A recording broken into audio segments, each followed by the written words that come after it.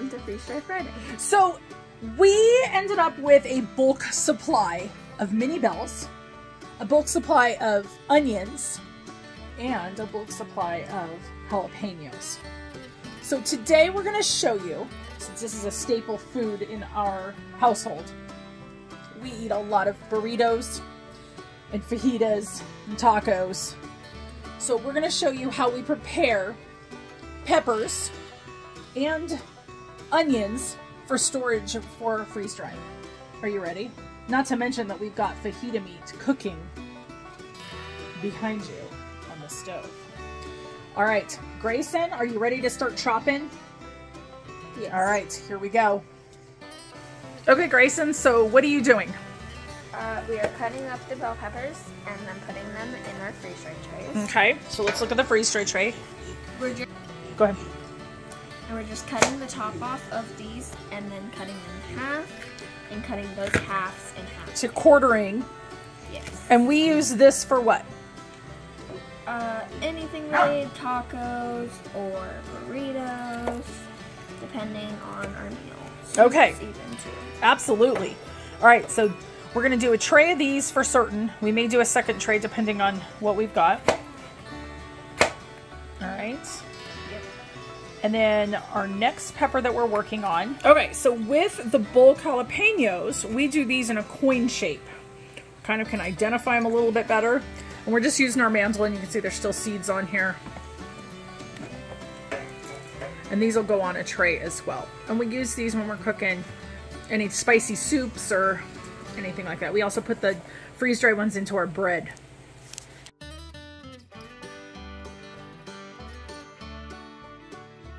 Like, share, subscribe, ring the bell, and follow us. Sorry. like, share, subscribe, and turn on notifications, and um, follow us for Freeze Dry Friday.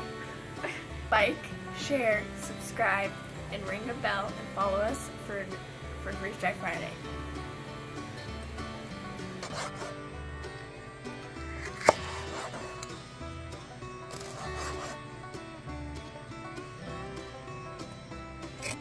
Okay, Miss Grayson, so you've got, well, for one, don't touch your lips after you've cut all those jalapenos. That's a tip. On my eight piece of content. And then my lips are burning now.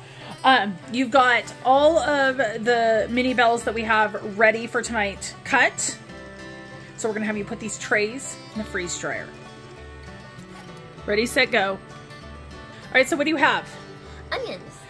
They're just sliced because this is how we will use them in the future. Are you ready? Get these in the freeze dryer and we'll get going on this. Okay.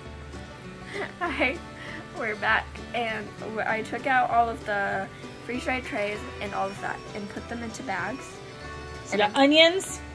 Onions, jalapenos, and bell pepper. How many bags did you end up with?